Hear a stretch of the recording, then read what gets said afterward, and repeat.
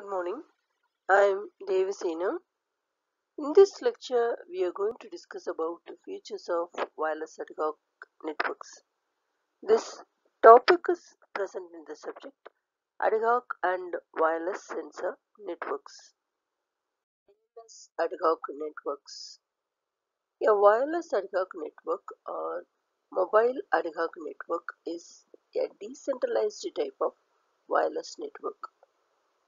The network is ad hoc because it does not rely on a pre-existing infrastructure such as routers in wired networks or access points in managed wireless networks. Working of ad hoc network. The devices in the ad hoc network can access each other's resources directly through a basic point-to-point wireless connection. Due to this, central servers are unnecessary for functions such as file shares or printers. In a wireless ad hoc network, a collection of devices or nodes is responsible for network operations such as routing, security, addressing and key management. Here is a representation of wireless ad hoc network. In this diagram, from the internet through the broadband modem, the computer 1 is connected through the Ethernet or USB cable and from the computer 1 through the wireless fidelity that is Wi-Fi the other devices like computer 2, computer 3, smartphone, iPhone, PDA, printer have been connected. These things have been done with the help of a ad hoc network concept. Working of ad hoc network. Devices in the ad hoc network require a wireless network adapter and they need to support a hosted network.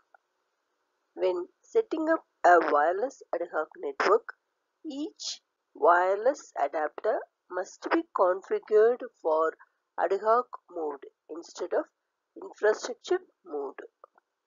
All wireless adapters need to use the same service set identifier that is SSID and channel number. Let us start discussing about ad hoc networks features. The first feature we are going to discuss is a topology.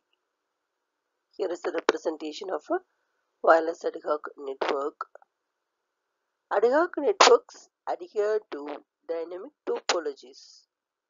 Network topology, which is typically multi-hops, may change randomly and rapidly with time.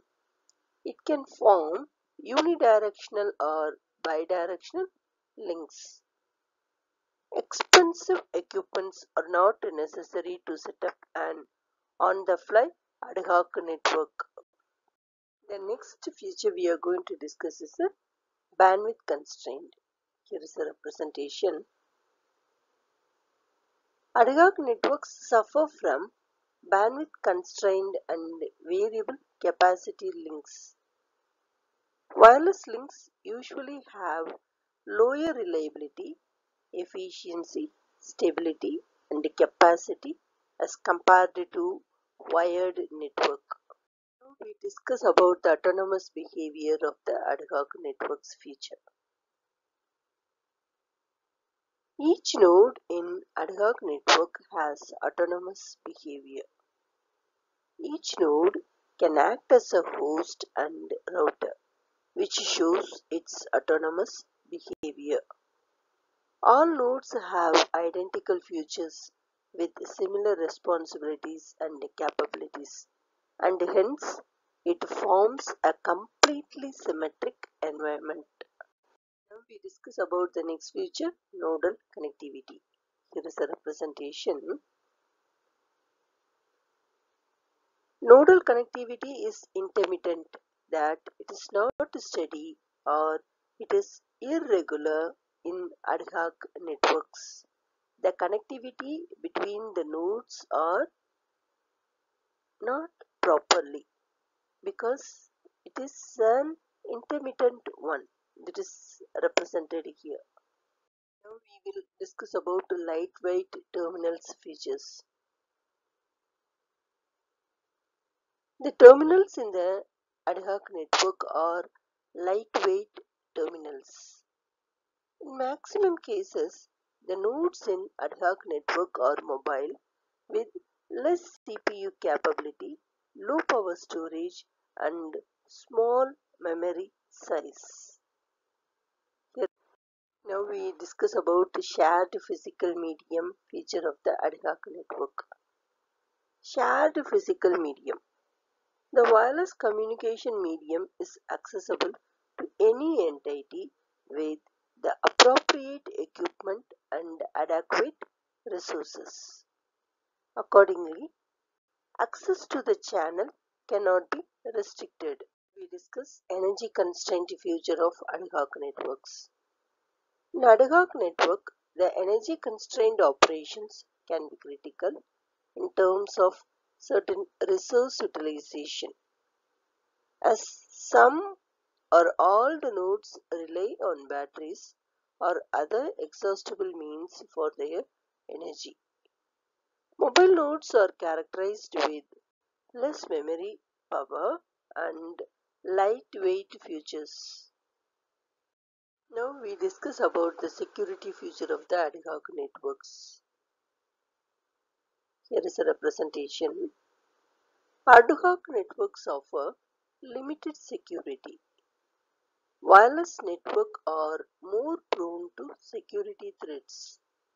A centralized firewall is absent due to its distributed nature of operation for security, routing and host configuration. Now we discuss about human intervention features of ad hoc network. Less human intervention is required in ad hoc network. They require minimum human intervention to configure the network. Therefore, they are dynamically autonomous in nature. Ad hoc network has mobile and spontaneous behavior which demands minimum human intervention to configure the network. The next feature is multi-hop routing. In ad hoc network, multi-hop routing is required as per situation. When a node tries to send information to other nodes which is out of its communication range, the packet should be forwarded via one or more intermediate nodes. There is no single point of failure in an ad hoc network. High user density and large level of user mobility. In ad hoc networks, no central management hub is required from where all devices can be controlled. We discuss about the distributed manner future of the ad hoc networks. In ad hoc network, operations are performed in distributed manner. Distributed nature of operation for security, routing and host configuration. A centralized firewall is absent here. Thank you very much for listening this lecture. For further updates, kindly subscribe this channel. If you like this video means you can share this video to your friends